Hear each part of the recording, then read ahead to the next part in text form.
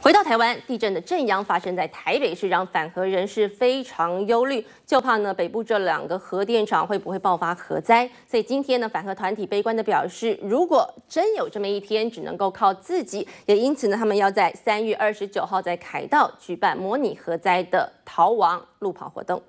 凶猛的核福怪兽袭来，元仔和马总统都无法幸免，被怪兽拳打脚踢。担心台湾万一发生核灾，将会酿成大悲剧。反核团体上演行动剧，表达反核的诉求。用日本二十公里到三十公里的标准了哈，我们大台北地区大概要疏散差不多四五百万人，啊，四五百万人呢？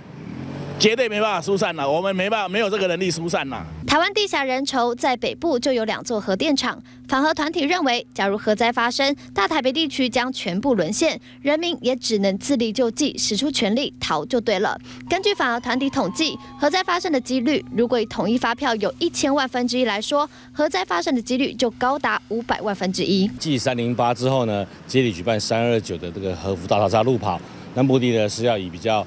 啊，通俗的方式呢，让寓教于乐的方式，让更多民众能知道核灾发生的时候可能面临的状况。同时，核灾发生第一件事情就是跑，所以我们以跑来作为这次活动的主题。反核团体认为，一旦核灾发生，所有人第一时间只能跑，因此发起核福大逃杀路跑活动，选在三月二十九号从凯道出发，即日起就可以上网报名。到时候也会在凯道摆设互动摊位，号召民众上街健身兼反核。有电 TV 杨仁祥、责任轩台北报道。